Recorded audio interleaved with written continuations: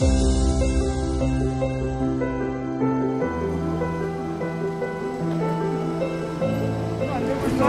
이렇게 만들어 놓으니까 좋죠? 오세훈 시장 때 안녕하세요.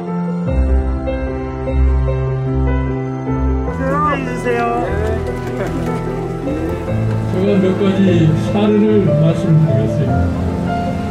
여러분 잘못된 정권은 심판받아야 됩니다. 맞습니까?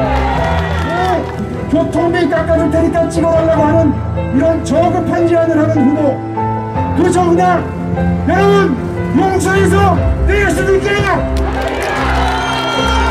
오세훈! 오세훈! 한국의 명물을 반드시 만들겠습니다. 오세훈! 민주당이 뼛속 깊이 반성할 수 있도록 그래서 앞으로 남은 1년 동안이나마 진심으로 여러분 앞에 사죄할 수 있도록 4월 7일 대한민국 국민의 승리 날로 반드시 만들어 주십시오.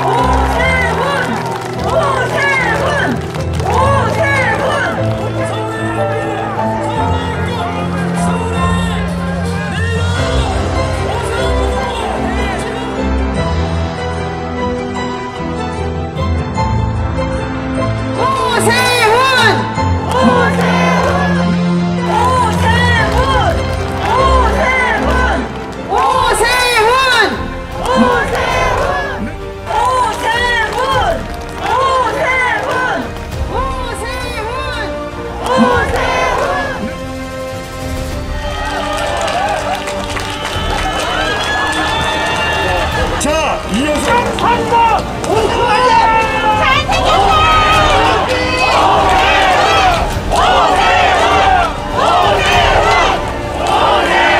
네.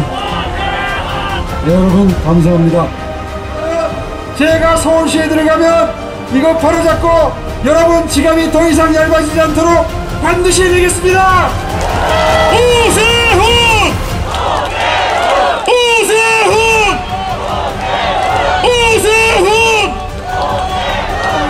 다시 한번 강북구를 서울시의 자랑스러운 살기 좋은 곳으로 반드시 만들겠습니다. 오세